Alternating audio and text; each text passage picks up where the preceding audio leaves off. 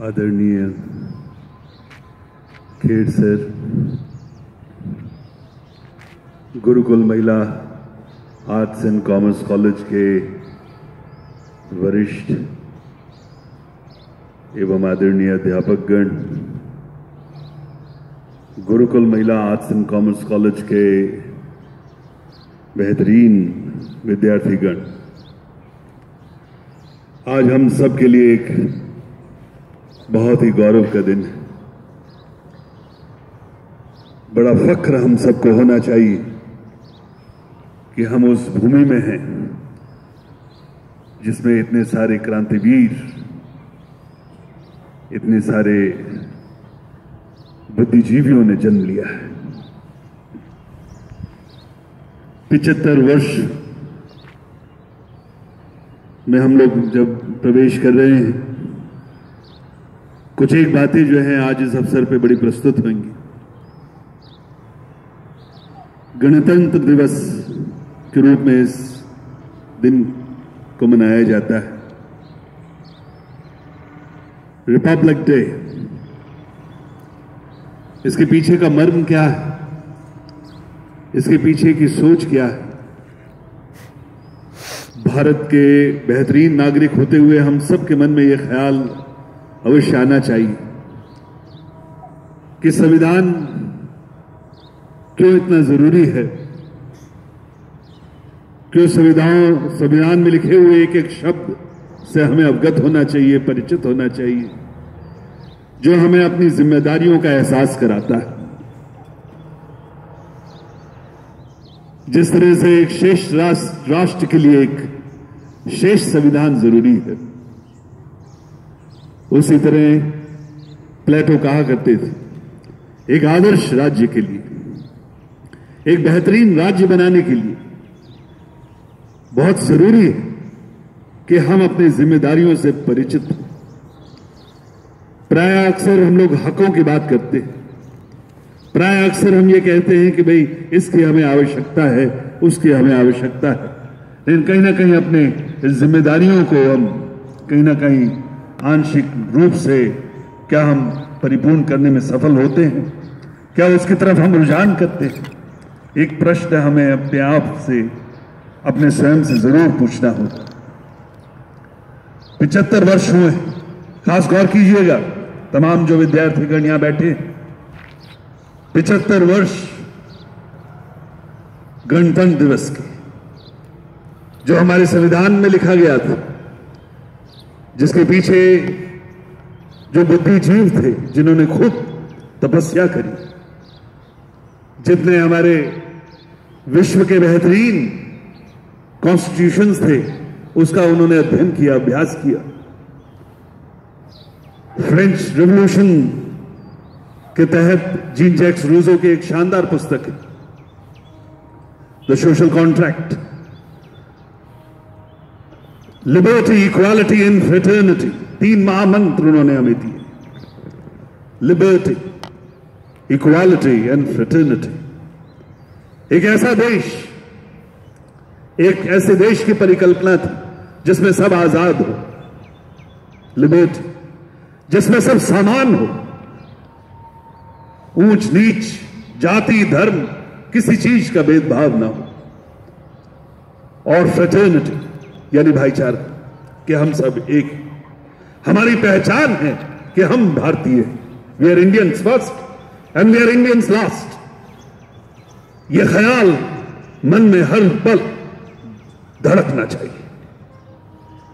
We are Indians first and Indians last और भारतीय होने के नाते, क्या आज के दिन हम ये कसम खा सकते कि अपने क्षेत्र में, अपने दायरे में रह के कुछ कुछ मात्र आंशिक हो, लेकिन कुछ बेहतर हम कर सकते हैं।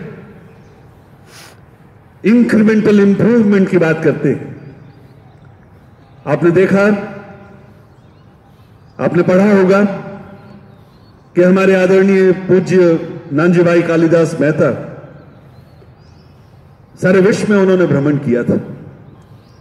लेकिन एक एक ऐसे महामंत्र से वो बहुत प्रेरित हुए थे। एक ऐसे देश के लोगों से बड़े प्रेरित हुए थे, जो थकते नहीं, जो हारते नहीं हैं। और वो थे Japanese.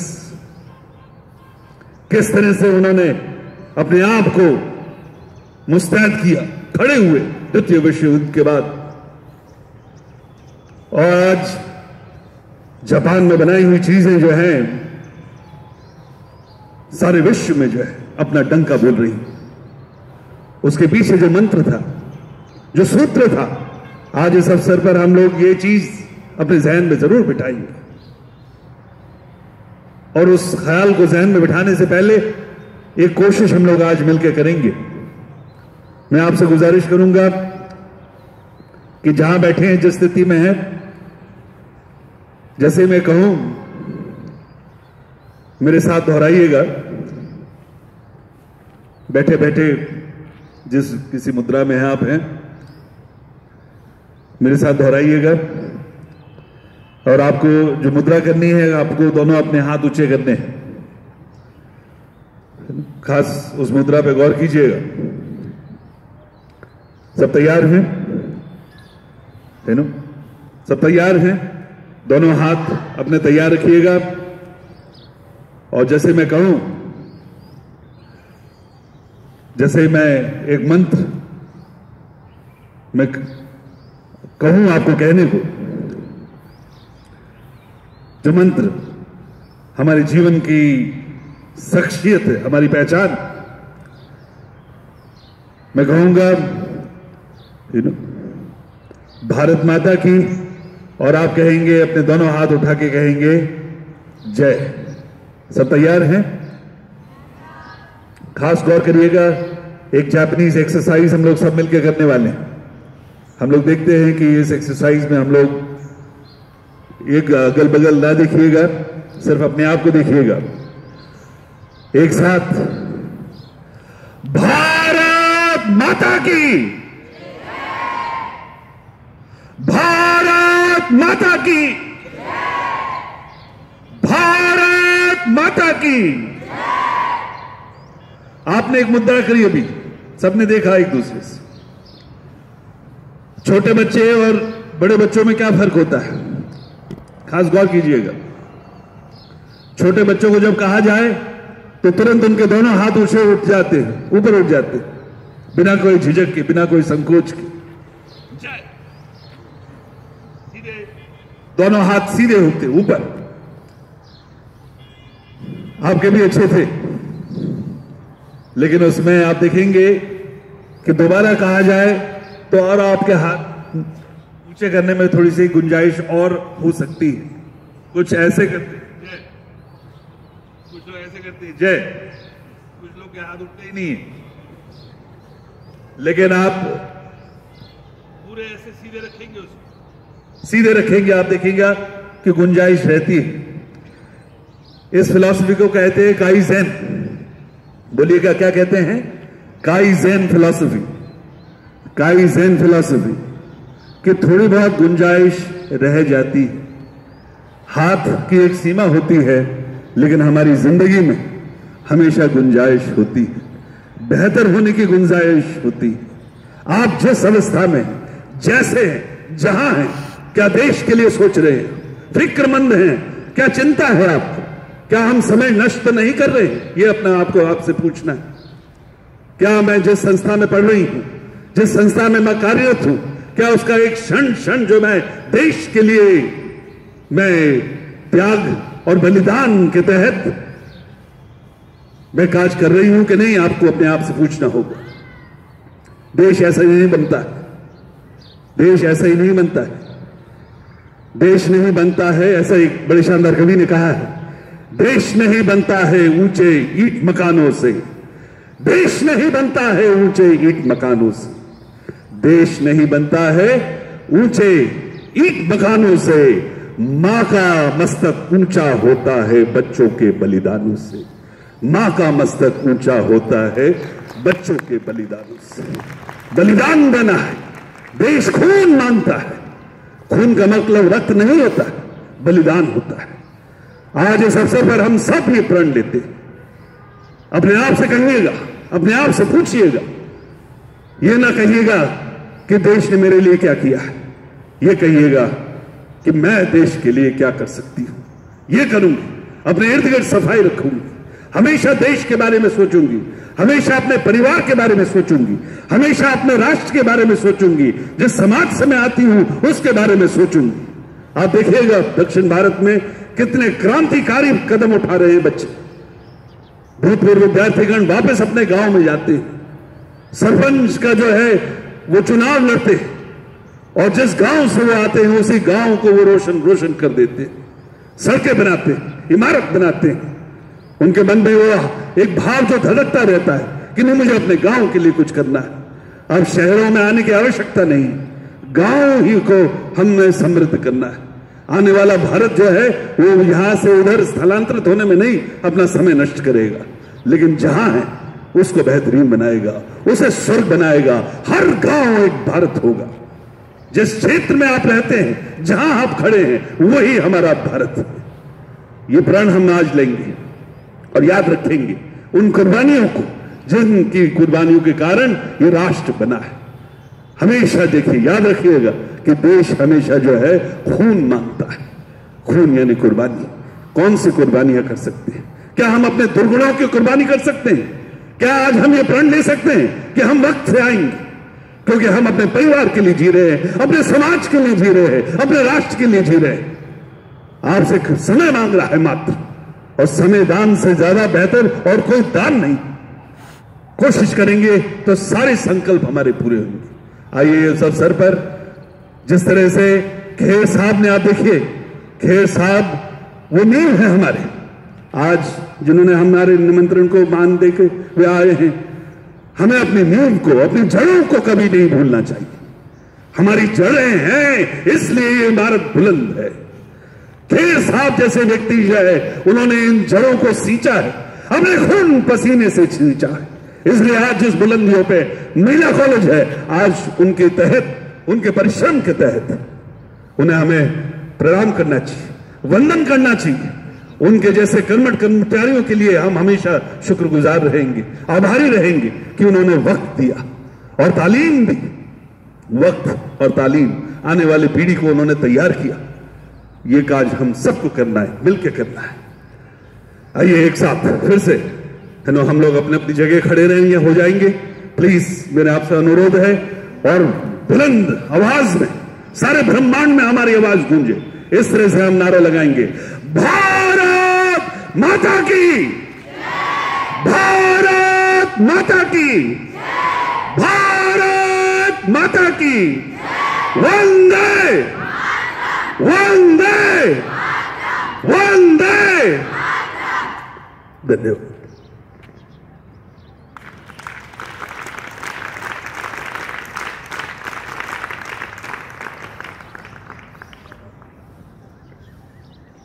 Thank you so much sir अब मैं आभार व्यक्त करने के लिए डॉक्टर शर्मिष्ठा बेन पटेल को आमंत्रित करूँगी। प्लीज़ मैम धन्यवाद। आज के इस गणतंत्र दिवस पे मैं आभार व्यक्त करते हुए सबसे पहले याद करती हूँ हमारे संविधान को बनाने वाले उन सारे मेंबर्स को, हमारे भारतीय विद्वान को, जिन्होंने इतना अच्छा संविधान बनाया कि हम आज अपना जीवन किसी भी प्रकार की मुश्किल के बिना बिता रहे हैं। उनको वंदन करते हुए मैं आभार व्यक्त करना चाहूँगी। हमारे संस्था के स्थापक कुलपिता श्री नानजी भाई कालिदास मेहता को। मैं उनको आज इसलिए याद करती हूँ कि जब ये देश प्रजासत्ताक नहीं था, गणतंत्र नहीं था, तब भी उन्होंने जो भी काज किए, वो अपने देश के लिए किए, अपने जन समूह के लिए किए। वो ना ही सिर्फ़ सौराष्ट्र में, ना ही अपने गाँव में, पर देश विदेश में भी किसी भी व्यक्ति को सहायक बनने के लिए तत्पर रहे। हम जानते हैं, उनका इतिहास से हम बखूबी परिचित है कि गुजरात राज्य की स्थापना के वक्त भी उन्होंने साल भर का जो हमारा निर्वाह हो सके गुजरात राज्य का, उतना धन बिना किसी संकोच के उस समय के अपने मुख्यमंत्री श्री को निश्चिंत करते हुए, बड़े ही आदर से उनके साथ बातें करते हुए, उनको खाना खिलाते हुए दे दिया था। तो ये जो उनके जो दृष्टिकोण थे, उसी से स्थापित हुई इस संस्था में जब हम पढ़ रहे हैं। तो हमें हमेशा ये याद रखना है कि जब देश आज़ाद नहीं था, तब भी जो जन्म के लिए काम कर रहे थे। अब तो देश आज़ाद है। हम अपनी आज़ादी को बखूबी निभा, अच्छे से उसका उसका उपयोग कर सके, उसके लिए बने, बनाए गए संविधान में कहीं भी कोई त्रुटि नहीं है। लेकिन हमें सोचना है कि इस देश को आदर्श राज्य बनाने में, आदर्श देश बनाने में हमारी भूमिका क्या हो सकती है? हम अपना काज बड़ी जागृति के साथ करें तो भी हमारी फ़र्ज़ हम ऐसे ही अदा कर देंगे। तो मैं, अब हमारे पूज्य कुलपिता जी, नानजी भाई कालिदास मेहता का भी इस राष्ट्रीय पर्व पे आभार व्यक्त करती हूँ। मैं आभार व्यक्त करती हूँ आज के हमारे मुख्य अतिथि श्री खैर भाई का। आपको बताते हुए मुझे बड़ी खुशी होगी कि जब मैं उनसे पहली बार मिली तो मुझे ऐसा बिल्कुल नहीं लगा कि मैं किसी अनजान व्यक्ति से मिल रही हूँ। उन्होंने मुझे अपनी बेटी की तरह आवकार दिया। अपनी पत्नी के साथ वो मुझे लेने के लिए अपने द्वार तक दौड़े आए। और फिर उन्होंने जो मुझसे बातें की, वो सारी बातों के पीछे मैं आप सबको बताना चाहूँगी कि मुझे वुमेन एम्पावरमेंट का इतना बड़ा वो दृष्टांत मिला उनके पास से। बचपन में उनके फादर नहीं रहे।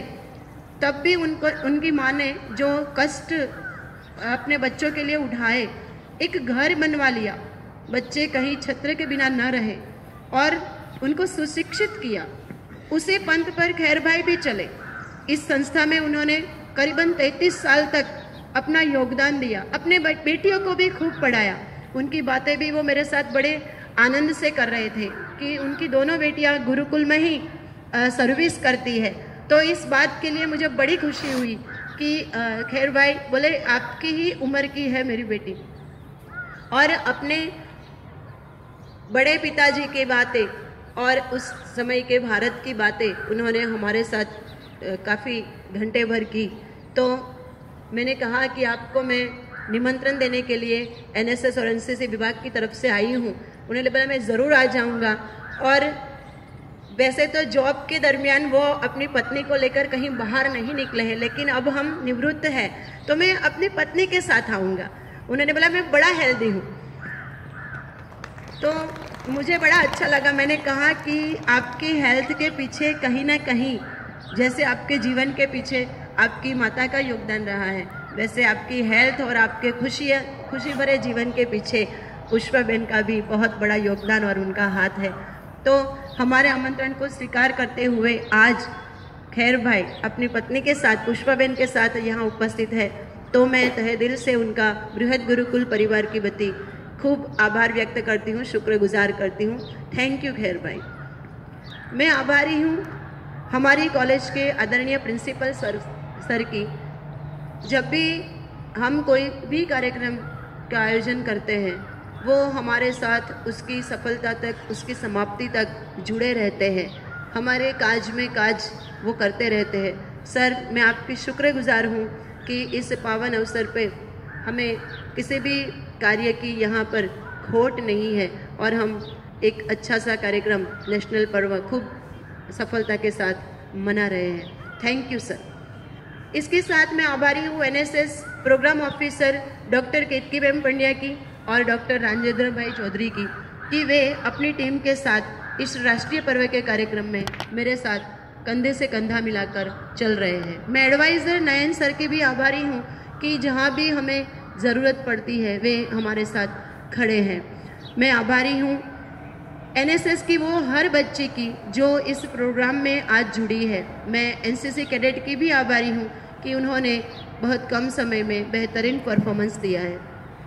मैं आभारी हूँ हमारे संपूर्ण स्टाफ की, खास करके दीप्ति मैडम और छाया मैडम की, कि जिन्होंने इस कार्यक्रम को जब हमने शुरुआत किया, तभी से वो हमारे साथ एनएसएस और एनसीसी विभाग के साथ जुड़ी हुई है।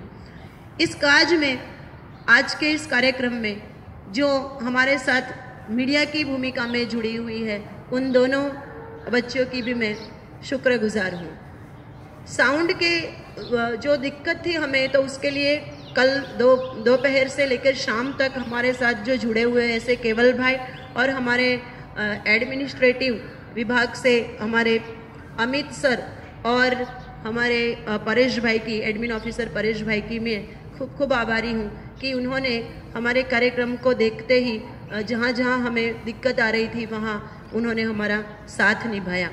मैं आभारी हूँ पूरे संपूर्ण गुरुकुल की स्टाफ की, जो हमारे यहाँ व्यवस्थापन में मेरे साथ जुड़े हुए थे।